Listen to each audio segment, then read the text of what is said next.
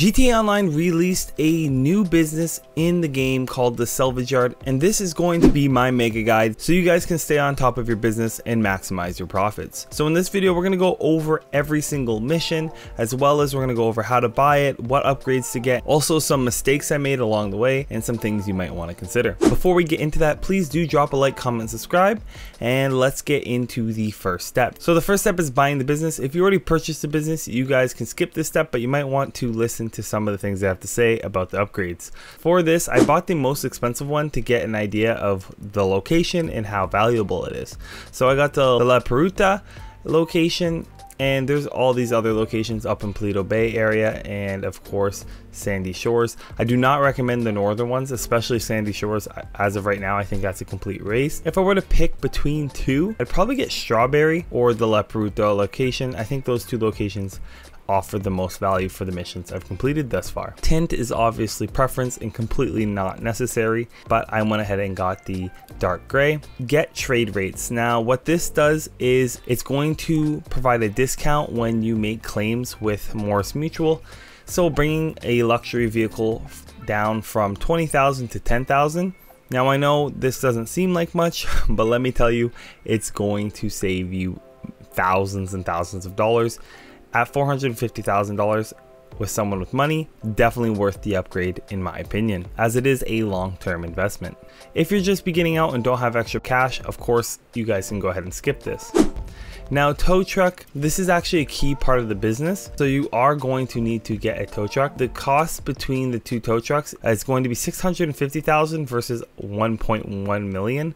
So I went ahead and got the more expensive one. I do not believe there's any difference when it comes to the missions or anything like that. It's just cosmetic most likely but I did go ahead and get the most expensive option and that's what I'd recommend most players do because at this point everybody has money. So for our next upgrade we have the wall safe. This is going to accumulate passive income for your business so you're gonna probably want to get this as well. It's $750,000 but over time it will pay itself up just like all the other wall safes in the game. And last but not least we have the staff. Now for our staff we are going to pay $625,000 at full price and what this will do is it will increase the speed at which they salvage parts from the vehicles and trust me you're going to want this as well. If you're going to pick the upgrades in order, I'm going to tell you guys to go ahead and get the tow truck as your first pick. Then I'd most likely get the staff and then the wall safe and then of course the trade rates and tint in that order in my opinion based on what I've experienced so far. This is going to set me back just short of 5.7 million dollars for this business.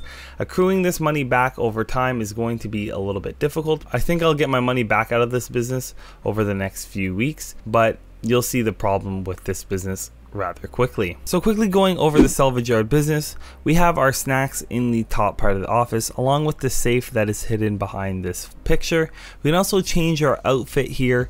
We can check in AFK probably on the security cameras and as well as we have a gas canister with a health pack and of course we have wrenches everywhere. We also have a really terrible TV setup and we have a vending machine so we can top up our health with sodas as well. And that kind of wraps up all of the utility that is available with the scrapyard business. Soon as you're done purchasing it, you're gonna get a call, put through a really cool cutscene, and then you'll be asked to go ahead and use this computer. You're gonna have to register as a CEO or a motorcycle club president to use the computer. Once you've done that, you're going to see three options for this week. Now, we'll have the BF Weevil for our, this week, the Hellfire Gauntlet, and the new Grotti Turismo Omaggio. These three vehicles are the vehicles you have to choose from. So that's pretty much the setup. Now we're to get into the missions for each one of these vehicles for this week. And we have the Grotti Turismo Omaggio, which is our highest paying one with a max sell value of $395,000 or a salvage value of $316,000. I started off with this vehicle and the first vehicle you do for the mission is going to be free. You're not to have to pay for the setup fee and you'll see you'll be brought to a little area here where you can see the max sell value and salvage value and it asks you to start this scope out mission. Each mission has a scope out mission that you have to complete before entering the main board. So go ahead and do the scope out mission, very simple and straightforward. You're going to go to the vantage point and once you've reached the vantage point you're going to have to take some photos. One of the photos is going to be of the helicopter on top of the building along with the ventilation unit. Once you've taken both those photos, you're going to want to head around to the back of the building. I went all the way around over this bridge and I took a photo of the back entrance. Very easy.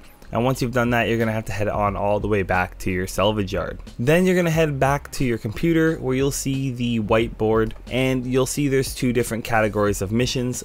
In the top right, we have our tasks and we have three tasks that must be completed and then an optional task, as well as we have our planning work, which we have two of those, and then we also have an optional planning work. Now, like the other businesses, the optional ones usually aren't worth it. And in this case, and all the other missions, I didn't see any value in completing them as I didn't complete them and I was able to complete the missions just fine without any issues that could have been prevented by completing these tasks. So once you complete the scope out mission, you're going to want to start with your first planning work. Planning work can be started from your computer here at the office in the salvage yard and tasks are actually started out in the free mode area where you'll see a green duffel bag.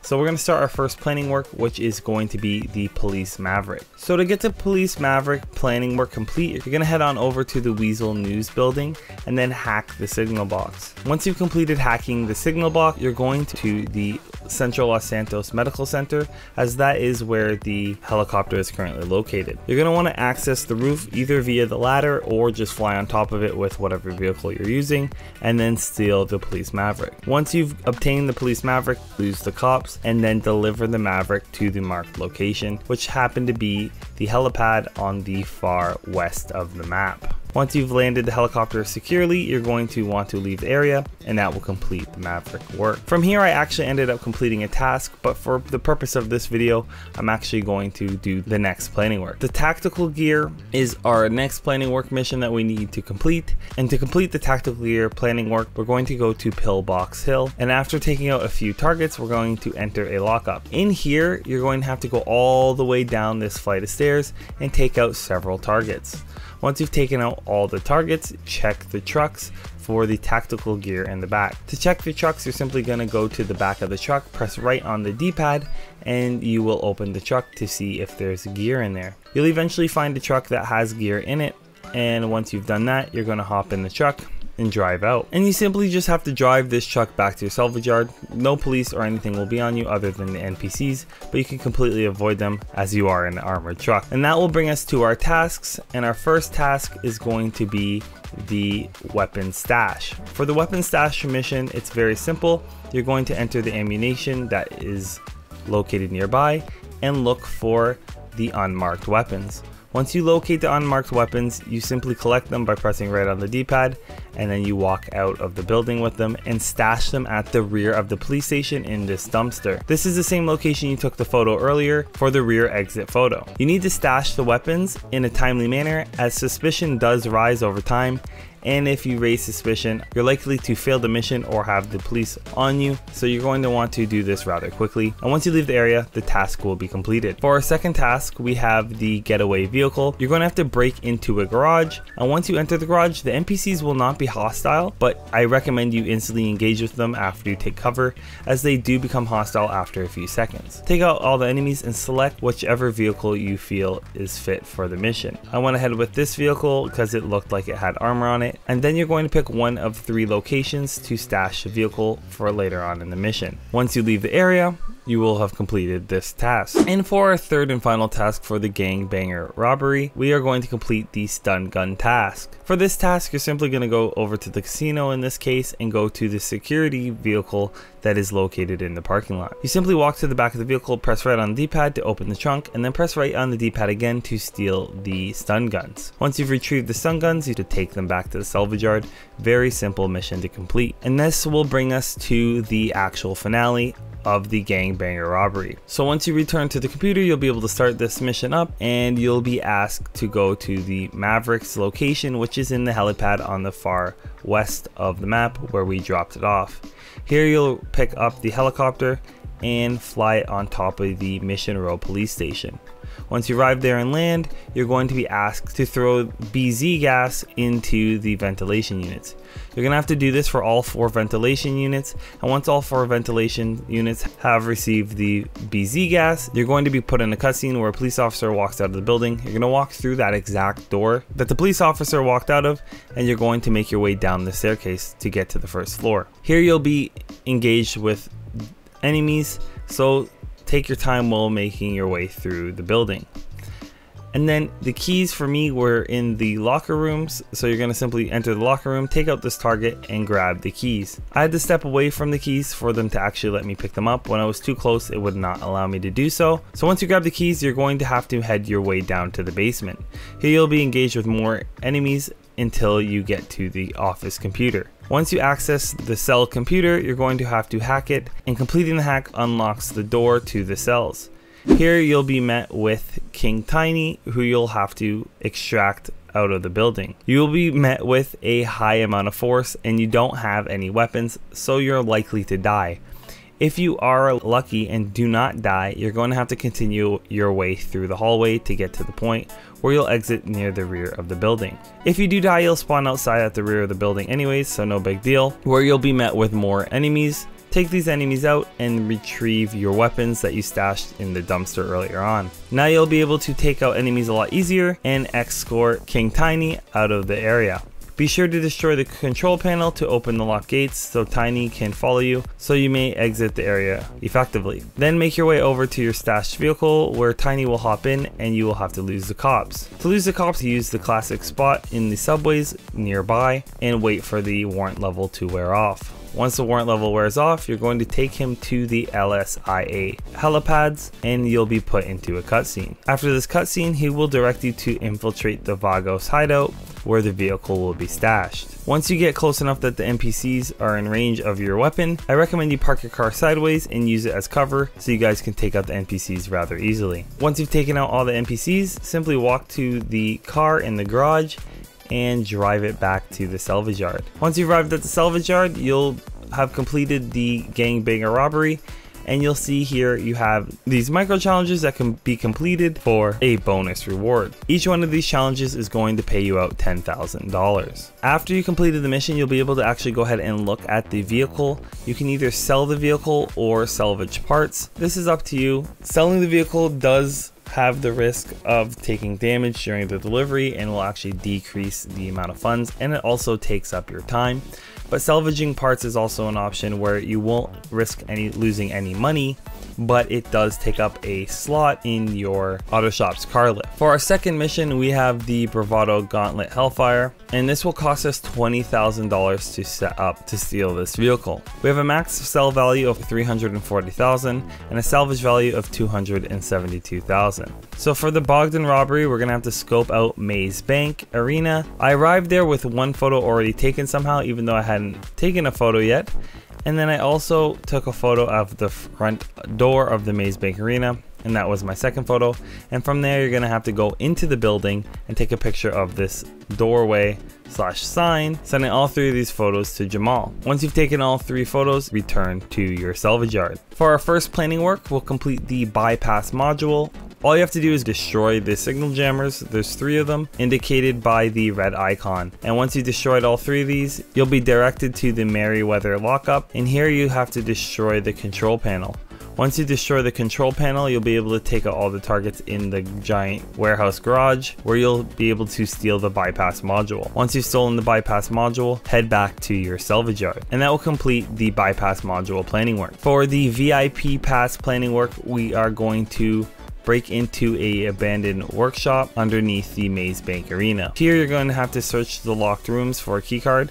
There are two locked rooms that I know of. To access these rooms you have to hack the doors once you hack the door, you'll be able to go into the room and search for the keycard. I had to do this for two rooms and found the keycard in the second room. Once you find the key to Pete's office, you're going to actually find the VIP pass in his office. After obtaining the VIP pass, bring it to the salvage yard. And that will conclude both of the planning work for this Duggan robbery. For our tasks, go to LSIA to break into a warehouse to steal the LS Panic trailer. I recommend you take out all the security and then you'll be able to find the cab keys which were located in the entrance of the building. Once you have the cab keys, you'll be able to get inside the trailer and exit the warehouse. From here, you're going to have to lose the cops, which can be difficult, but with some patience, you'll be able to lose them and then stash the panic trailer at the marked location. Once you leave the area, that task will be completed. For our second task, we have the LS Panic outfits. For the Panic outfit, you're going to have to go into the suburban clothing shop and look look for a duffel bag. Once you find this duffel bag,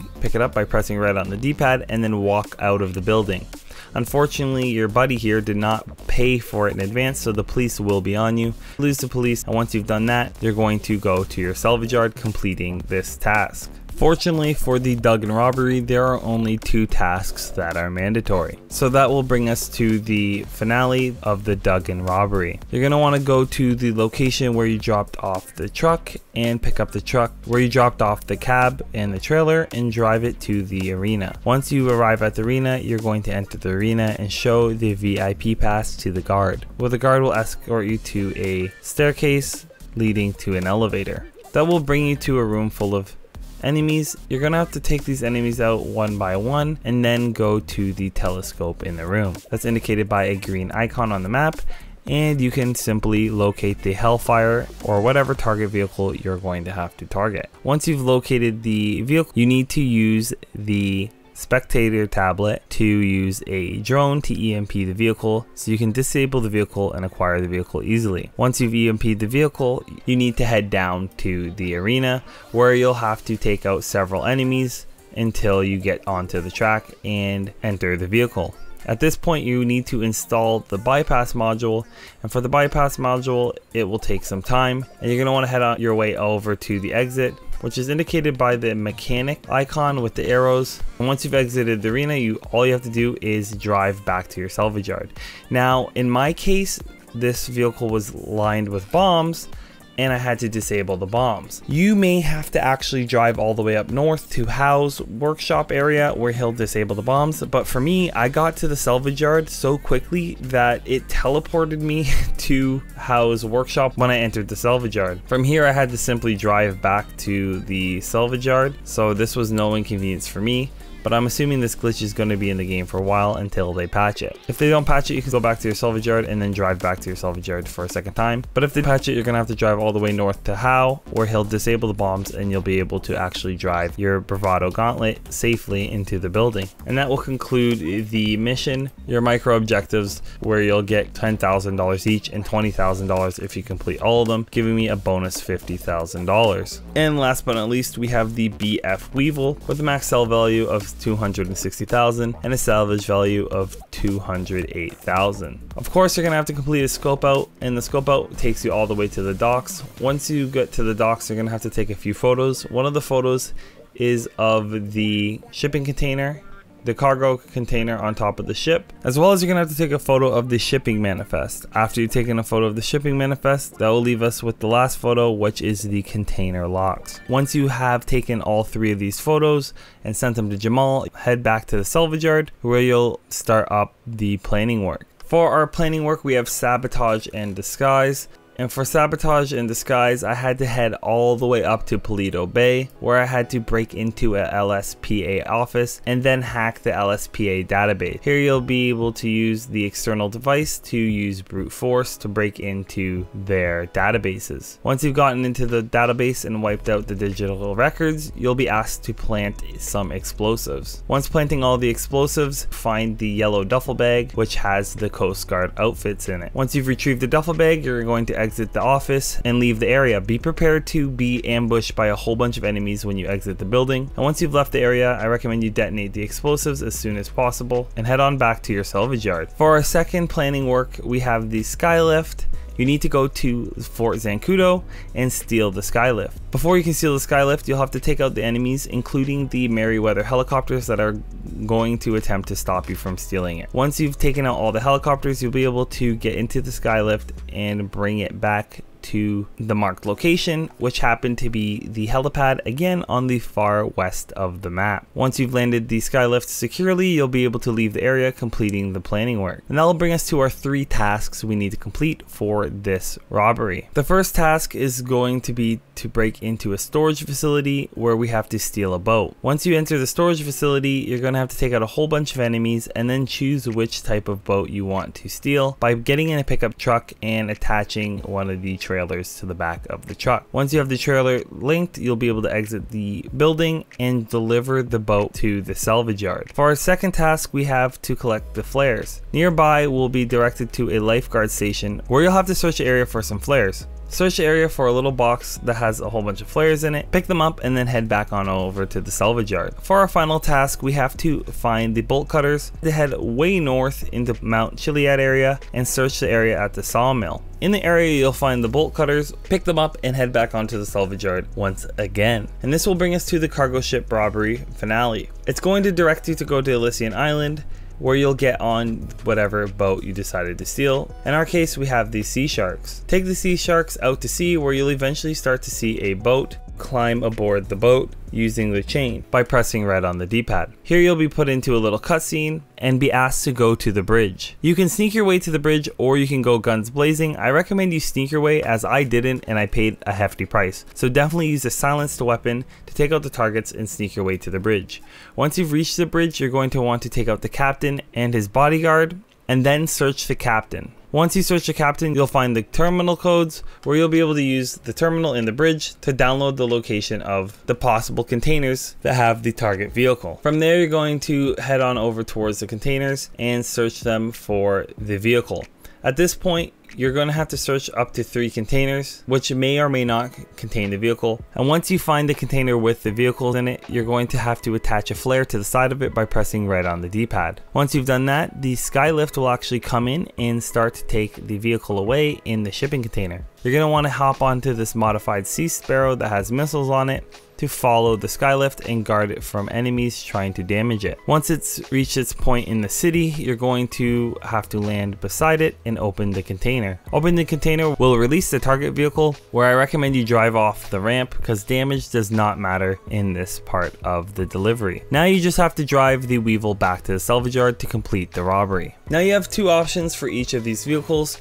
You can either salvage them or sell them. Some things to keep in mind is that the salvaging is going to take a long time on these vehicles for some reason and they are going to take up a spot on your lifts in your shop and you only have two lifts in the shop. So if you decide to salvage two of these vehicles because you don't want to deliver them you're not going to be able to run your tow truck aspect of the business which we'll get into later on in this video. So I do recommend you sell at least two of these vehicles so you can keep your tow truck up and running. So for the sell mission, it's just like import export. You're going to have to deliver it to the docks.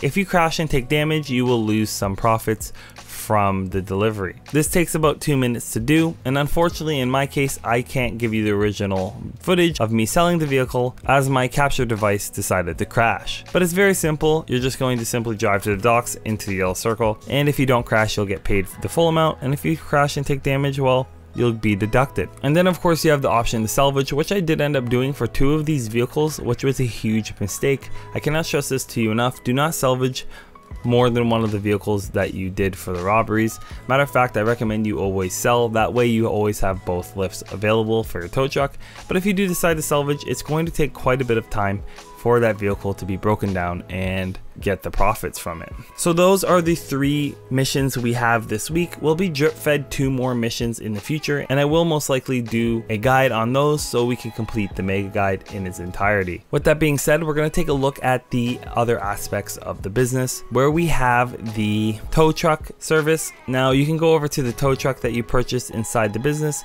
and you'll be able to respray it or you can run tow truck service. For these missions, they're very simple. I'm not going to overcomplicate it. You're going to be asked to go to an area, pick up a vehicle by attaching it to your tow truck simply by reversing into it.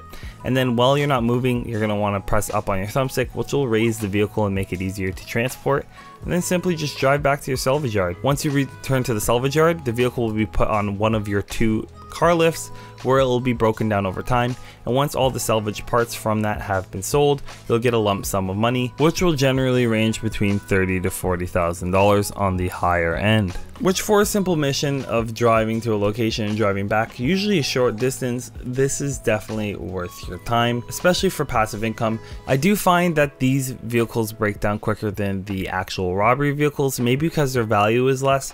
I could be wrong, guys let me know in the comment section below, because I did find that my salvaged vehicles from the tow truck broke down a lot quicker than the ones I salvaged from the robberies. This could be in my head, let me know what your guys' experience is in the comment section. You can only have two cars being broken down at a time, so once you've collected two vehicles or already have a vehicle from your robbery on there, you cannot collect any more. The tow truck will not be able to operate. This is why I say do not salvage the vehicles that you stole from the robbery, get the max profit from them by selling, and use the tow truck to fill those two spots on your car lift. And lastly, when it comes to money making in this business, we have the safe that we purchased earlier on, and that safe is going to accrue money, and the money you get per day in game will increase for every tow truck mission you complete. The max that the passive income of the safe can be is $24,000 with the max capacity of the safe being $250,000. These are the three ways you can make money with this business. Hopefully you learned something new in this salvage yard guide. If you liked the video, please do drop a like, comment, subscribe, and as always, thanks for watching.